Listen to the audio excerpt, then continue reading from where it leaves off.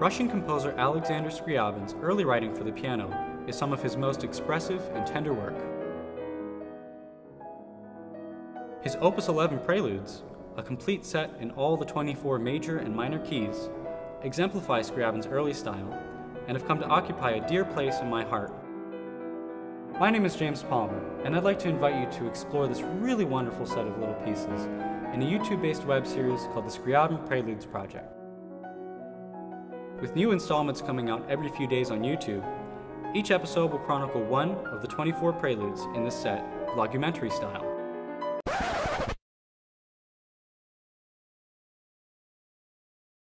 Each episode will include some musical analysis, some personal thoughts on the content of the prelude, anecdotes about learning the prelude, and a full performance of the prelude.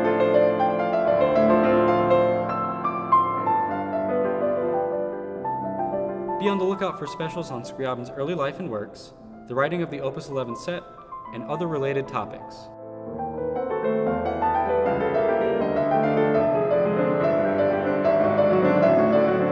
Be sure to like and subscribe, and see you next time.